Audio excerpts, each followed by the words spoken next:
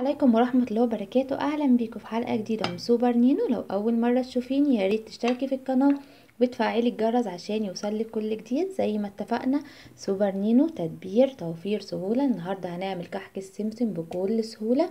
وبمقادير كلها اقتصادية ومتوفرة عندك في البيت وهينجح معاكي من أول مرة وتحدي. يلا بينا على الطريقة والمقادير عشان نعرف عملناه إزاي. المقادير اللي معايا في وصفة النهاردة هنشتغل على طول وهنعرفها وإحنا شغالين. عندي كوبايتين من الدقيق. أهو. هنزل عليهم بربع كوباية من الزيت وعليهم ربع كوباية من السمنة أو الزبدة الموجود عندك. دي أول خطوة. وهبدأ أبسس الدقيق اللي عندي كده بالسمنة والزيت لحد ما كله يتشرب كويس قوي مع بعض. حاجة بسس كويس قوي. تمام؟ بالمنظر ده كده. أهو. لازم تبسسي كده يعني تشربي الدقيق بالسمنة أو الزيت اللي عندك. زي ما اتفقنا ممكن تستخدمي مكان السمنة ربع كوباية زبدة وربع كوباية زيت. بس كده. هاخد عندي هنا معلقة صغيرة مليانة كده أهي. مليانة من ال baking powder. وأقلب برضو كويس. كله مع بعض كده. أهو بالمنظر ده. وبعد كده أركن بقى الخليط ده على جنب. عندي هنا نص كوباية من السكر وعندي ربع كوباية من المية.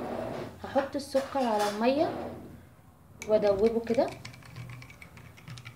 سكر عادي سنترافيش مفيش مشكلة. عايزة تبدليه بسكر بودرة عادي برضو مفيش مشكلة. هدوبه بقى كده في المية كويس قوي. ربع كوباية من المية على نص كوباية من السكر.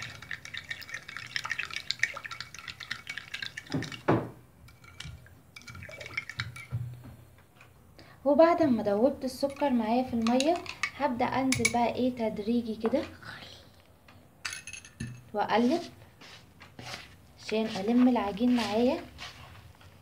أهو كده أهو. عشان ممكن محتاجوش كله برضو زي ما اتفقنا أي حاجة بتختلف في نوع الدقيق. أهو كده.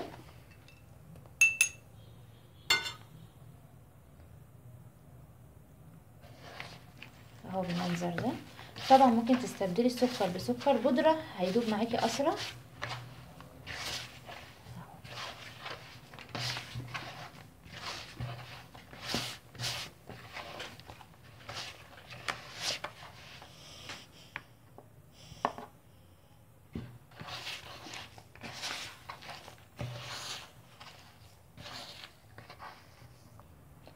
كده العجينة بقت جاهزة عندي. طبعا لو اتهورتي وضفتي ربع كوباية المية على السكر وبعد كده العجينة لقيتيها سايلة منك زودي شوية دقيق. بس هو أفضل إن انت تنزلي تدريجي بال بالمية ويا ريت ربع كوباية بالظبط وما تزوديش. هبدأ بقى أعمل كور كده. العجينة عندي أعملها كور. بالمنظر ده كده أهو. طبعا زي ما اتفقنا نوعية الدقيق بتختلف.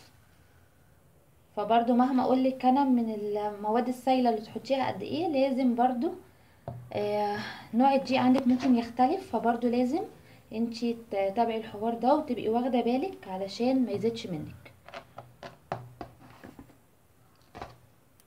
هبدأ بقى أعمل كل الكمية كده كور بعد ما أعملها كور هعملها roll. تمام؟ أهي بالمنظر ده كده. هعمل roll كده أهو. هعمل كل الكمية بقى بالطريقة دي. كور بعد كده roll صغير كده على إيدي. زي ما أنتوا شايفين كده عملت بقى كل الكمية رولات كده. عندي هنا معلقة من اللبن أو معلقتين مدوبة فيهم نص معلقة صغيرة من السكر. دي إضافية من عندي لو انت حباها حباها مش حباها ممكن تستعملي باللبن بس. وعندي سمسم. هعمل إيه بقى؟ هاخد الرول اللي أنا عملته أهو أحطه كده في اللبن. واحطه بعد كده في السمسم بالمنظر ده. اهو. شايفة منظره؟ اهو كده. اللبن عشان يمسك لي السمسم. وابدأ إن أنا أرصه.